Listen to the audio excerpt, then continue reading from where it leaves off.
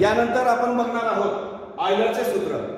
विद्यार्थी मित्रांनो काय आहे ऑयलरचे सूत्र? व्ही अधिक एक बरोबर ई अधिक दोन. व्ही म्हणजे काय? तर दिलेल्या घनाकृतीचे शिरोबिंदू.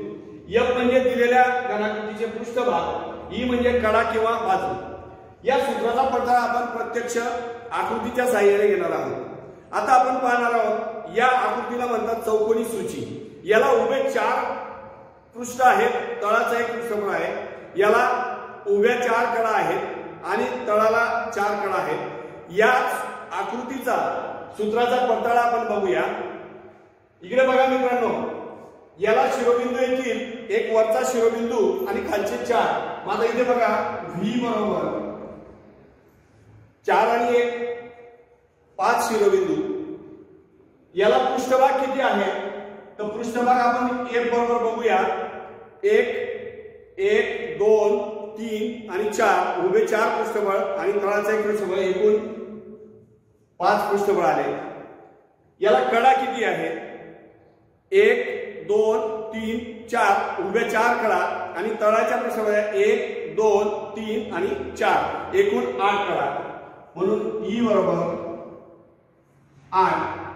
या सूत्रामध्ये आपण आयलरच्या सूत्रामध्ये किमती टाकूया.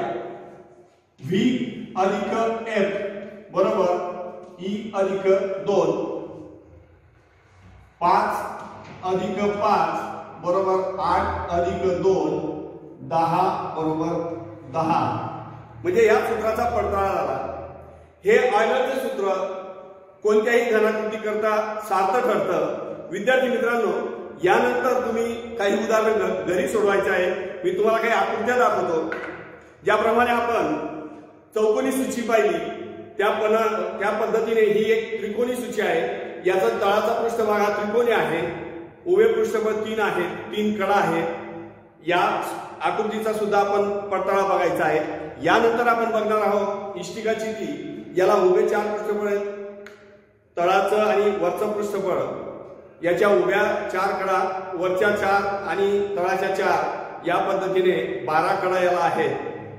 तसेच विद्यार्थी मित्रांनो ही आहे षटकोनी चित्ती याचे तळाचे आणि खालचे पृष्ठबळ हे षटकोनी आकाराचे आहे.